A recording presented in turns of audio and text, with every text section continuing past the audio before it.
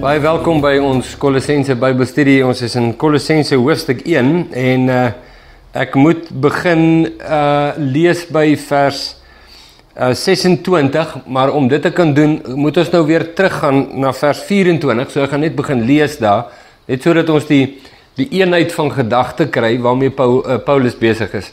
Terwyl hy skryf aan die gelowiges in Kolosse. Hy sê vers 24 nou Nou verbly ek my my lyding vir julle en vul in my vlees aan die oorblyfsels van die verdrukking van Christus vir sy liggaam wat die gemeente is waarvan ek 'n dienaar geword het volgens die bediening van God wat aan my gegee is in julle belang om die woord van God te vervul naamlik die verborgenheid wat van die eeue en geslagte af verborge was maar nou geopenbaar is aan die heiliges. Aan wie God wou bekend maak wat die rykdom van die heerlikheid van hierdie verborgenheid onder die heidene is, dit is Christus onder julle die hoop van die heerlikheid. Nou uh so ons moet nou begin lees. Dit dit was nou die deel van vers 24 tot die einde van vers 27. In die vorige video het ek gestop aan die einde van 25. So kom ons sê net Paulus is besig om te verduidelik dat hy bediening ontvang het in hulle belang. Hy is nie die main man nie, hy is nie die big mac nie. Hy is die dienaar. Jesus is die main man. Hy is die hoofprotokos van God, die primaris, dit gaan alsoor hom. En en dan sê Paulus maak 'n stelling oor die inhoud van die woord wat hom gegee is. Dis nie sy woord nie, dis God se woord. Hy het dit nie uitgedink of ontdek nie, dis aan hom gegee. Dis baie belangrik. En hy sê die die inhoud van die woord is die verborgenheid wat van eeue en geslagte af verborge was, maar nou geopenbaar is aan die heiliges. So dis 'n dit was vir lanke geheim, maar is nou nie meer 'n geheim nie. Dit word nou bekend gemaak en dit word bekend gemaak aan die heiliges. So wat die wêreld betref, is dit nog 'n geheim. So mense wat nie by Jesus is nie, is is hierdie openbaring wat vir die heiliges die absolute lewe is van hulle bestaan, is vir die wêreld nog 'n geslote boek en 'n geheim.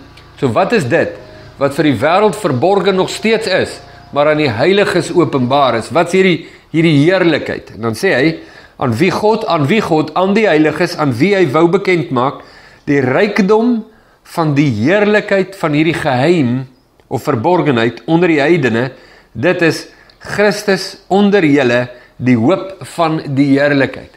Nou, met hierdie sin vat Paulus saam alles wat hy gesê het vanaf vers 3 regdeur terwyl hy geskryf het. Hier van vers 15 af natuurlik het dit sterk momentum opgebou toe hy gesê het dat hy is die beeld van die onsigbare God die eerstgeborene van die hele skepping die um, die eerste in die gemeente. Hy's in alles eerste. Alles hou in hom in stand. Alles is deur hom geskape. Alles is vir hom geskape. Hy het uh, God het deur Christus almal met homself versoen en ons het gepraat oor wat dit beteken en wat dit nie beteken nie. En beide van daardie dinge is krities om te verstaan en te weet. En dan hier is die samevatting daarvan. Die samevatting van alles wat Paulus het om te sê is hierdie woorde Christus onder julle die hoop op heerlikheid. Nou, voordat ons gaan kyk na die die frase onder julle, wil ons net eers kyk na Christus die hoop op heerlikheid. So watter heerlikheid is daar ook al waarna jy verlang? Watter heerlikheid is daar ook al waarop ons hoop? Die die heerlikheid is te vind in Christus onder ons. Nou die daar's nou al baie gepraat oor hierdie saak ek uh, en ek wil dit net vlugtig aanraak is daar's nou mense wat sê ehm um, ja maar die woorde die Griekse woord en wat hier gebruik word beteken eintlik in julle maar die waarheid is uh die waarheid is die Griekse woord en beteken nie net in nie maar dit beteken ook onder. Onder julle amongst. Christ amongst you among you. Nou nou nou sal mense sê maar maar wat watter ene van die konteks van uh, van ehm um, van 'n skrywe bepaal die gebruik van die woord So jy dis nie asof jy nou jy weet jy jy kyk na die Griekse teks en dan vat jy jou Vine's Expository Dictionary en dan slaan jy hom daar en dan besluit jy wat daar staan nie. Dis net slegte Grieks. Jy doen nie dit nie. En baie mense maak sulke foute en en maak baie keer aanspraak op die Griek sê en dan uh, het hulle dit heeltemal mis, maar hulle het darm die Vine's Expository Dictionary nageslaan. Maar um, dan tas hulle mis want jy het meer nodig as 'n Vine's Expository Dictionary om regtig te kan sê wat die Griek sê. Jy moet darm 'n grondige kennis van die taal hê en dit kos dissipline en baie harde werk om dit te weet. Nou, ek kan vir jou sê dat die woordjie en in Grieks beteken of in of onder en die konteks sal bepaal hoe ons dit vertaal of in of onder. So in hierdie konteks is die hoop op heerlikheid Christus in ons of Christus onder ons. En hier's die wonderlike ding.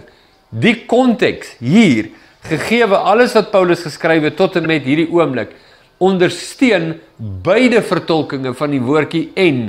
Dis nie dis nie in of onder nie, maar in en onder. Dit is belangrik. Hoe kom ons daarby uit? Wel, dis die dis die die hoop van heerlikheid wat ek het. Ek as 'n individu, Rickert, is die feit dat Christus in my lewe is. Hy's in my lewe. Ek het my lewe Skus tog. Jammer. Ek het my lewe gebuig voor Christus en hy het my vervul met sy gees. Hy is in my. Die gees van Christus is in my. Maar dis nie al nie. Dis nie al nie, want ons het ook te maak met die gemeente en dis baie duidelik uit die Nuwe Testament. Al die skrywes in ag geneem dat Christus onder die gemeente is, among. So dis nie net Christus in my lewe en Christus in jou lewe nie, maar ook Christus onder ons as gemeente. En die werking van Christus se gees in ons midde wat Paulus sê is dat die hoop op heerlikheid is die realiteit van Christus in ons lewens en onder ons lewens. Among us. Hy werk in ons, hy werk deur ons, hy werk onder ons. Hy werk met ons. Dis die hoop op heerlikheid. So watter heerlikheid ek ook al het, is my versmagting na Christus. Nou, vergewe my. Vergewe my die volgende uitlating. Ek gaan dit ek ek wil dit regtig met met groot wysheid sê. Want wat ek gaan sê het het iets wat van 'n 'n snykant. Maar dis nie bedoel om te sny nie. Ek wil dit nou verklaar hier. Dis nie bedoel om te sny nie. Dit is meer bedoel om te onderskei. Ek kry ek kry 'n e-pos, 'n uh, 'n boodskapie van iemand wat wat baie baie bekommerd is oor sielsbindinge. Die persoon het nou 'n bediening bygewoon waarin daar bedien is oor verskillende sielsbindinge wat kom van jou oupa grootjie en jy weet dis 'n oupa grootjie en deur die bloedlyne en en alles en en en die groot ontsteltenis wat ontstaan is dat ek gebind kan wees uh deur goed waaroor ek nie beheer het nie en wat kom al van geslagte waarvan ek nie weet nie en die onsekerheid van dinge ek jy weet ek dink dalk ek leef vry voor Jesus maar eintlik het ek bindinge en en mense gaan nou vreeslik uh ek gaan nou die woord wetenskaplik gebruik wens ek gebruik 'n beter woord maar hulle gaan nou vreeslik wetenskaplik in op al die sielsbindinge en dinge en bloedlyn vloeke en goeters en die en daai en jy moet dit breek en jy moet bewus wees van alles en jy weet dan ontdek jy maar uh, jou jou oupa grootjie se se skaapwagter se ouma se kleinkind se oom se iets was in die vrymesselaars. Weet daai binding jy weet moet jy nou ook breek en jy weet en so aan. En die mense gaan vreeslik in daarop en dit jy weet raak 'n vreeslike tegniese saak. Hier's nou wat ek wil sê Die hoop op heerlikheid is Christus in ons en onder ons. Die eenvoudige taak wat God aan die gelowiges opgelê het was dit is my geliefde seun in wie ek welbehae het. Luister nou. Die bemoediging wat gelowiges gegee word is hou op rondhardloop van bakboord na stuurboord met allerlei goedjies en triks en dinge en goed wat jy hoor Kom na Jesus toe. Kom net na Jesus toe. Jy hoef nie alles te verstaan nie. Jy hoef nie alles te weet nie. Eh, maak nie saak waarin was jou voorgeslagte betrokke nie. Kom na Jesus toe. As daar iets is wat die moeite werd is, wat aangespreek moet word, sal die hoop op heerlikheid in jou en onder julle dit bekend maak. Hy sal dit breek. Hy is die breker van vloeke en bande, nie jy nie. Want nou nou is die probleem hier dat die die onus en die verantwoordelikheid is op jou en sê nou jy mis 'n band of 'n verbintenis of een of ander vloek of 'n ding en nou o, oh, daar het jy dit nou gemis en en en nou wat nou van jou? Nou daar sit jy. Daar sit jy in 'n gemors. En nou as jy so op jou sê, dis soos die dis soos die vroutjie met 'n gestremde kind en sy hoor dat dat sy moet die lewe van God oor hierdie gestremde kind verklaar en sy moet sy moet declare en sy moet jy weet so so die groot verantwoordelikheid op haar en as daai kind gestrem bly dan is die ma op daardie posisie waar sy net sê ek het nie genoeg declare nie ek het nie genoeg verklaar nie ek het nie genoeg lewe gespreek nie. Met ander woorde dis my skuld dat die kind gestremd is.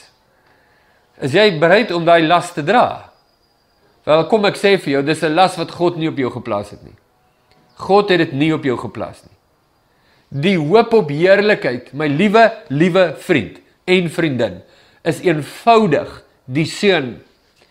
Is nie hierdie verskriklike tegniese diepgaande geestelike uh bodemlose put nie. Is eenvoudig.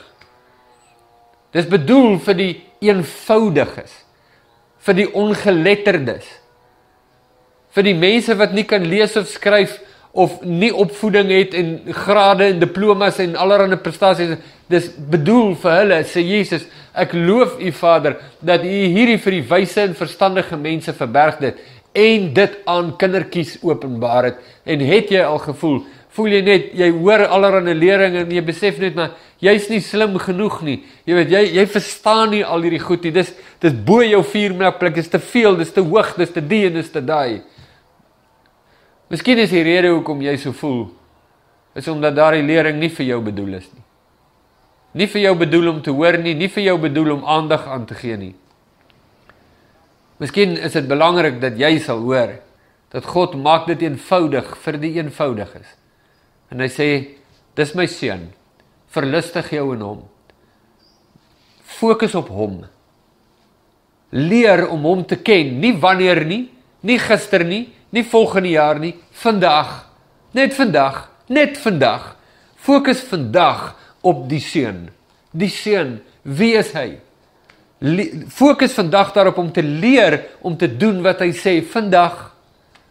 Vandag in jou gewete voor God te wandel. Hou jou daarmee besig. Hy is die hoop op eerlikheid. Jy is nie die uh die all out geestelike handyman in jou lewe nie. Kom na Jesus toe. Hy is die handyman. Hy is die primarius. Die hoop op heerlikheid wat ons het is eenvoudig. Geliefdes, fokus op die seun. Hou julle oë gefestig op Jesus, nie op die engele nie, nie op geestelikheid nie, nie op enige iets anders nie, op Jesus. Preek Jesus. Hou op ander goedjies preek. Moenie pet theology sê nie. Hê hey, Jesus. Paulus sê, dis dis waarvoor ek my lewe gee. En hy het letterlik Ek gee my lewe daarvoor vir een ding. Wat is dit? Die verborgenheid wat God openbaar het nou aan die heiliges is die hoop op heerlikheid is die seun. Hy's die hoop op heerlikheid nie net vir hierdie lewe nie, maar hy is die hoop op heerlikheid vir hierna. Wil jy hierna die kroon van die lewe ontvang as jy jou hoof neerlê en jou asem uitblaas? Wil jy die kroon van die lewe ontvang? Wil jy by God wees? Hou jou oë op Jesus. Ons wil mekaar tog graag so beïndruk met wat ons weet. Die vlees wil so graag beïndruk word en dikwels is die prediking van die evangelie van Jesus vir die vlees net te eenvoudig. Kom ons maak dit moeiliker. Kom ons maak dit ingewikkelder. Kom ons maak dit groter sodat my gees, my vlees kan sê, "Wow." Die mense gaan dan dink ek is slim as ek dit goed weet. Of wat ook al ek nou sê. Hou dit eenvoudig. God openbaar dit aan die kindertjies. En wat hy openbaar is sy seun. That's it. As niks verder nie, niks meer nie, die seun wat ek ook al het om te leer, sal hy my leer. Wat ek ook nodig het om te weet, sal hy aan my openbaar. Al wat ek wil weet is wie's hy, wat sê hy en my lewe voor hom buig. Dis die evangelie. Niks anders nie. Niks anders nie. Ek meet my lewe volgens niemand anders se standaard nie. Nie volgens 'n kerk nie, nie volgens 'n groep nie, nie volgens 'n uh, enige iets anders te behalwe die karakter en die waarheid van die seun nie. Dis waar ek my lewe buig. Ek hoop dit help jou. En elke knie sal buig Elke mond getuig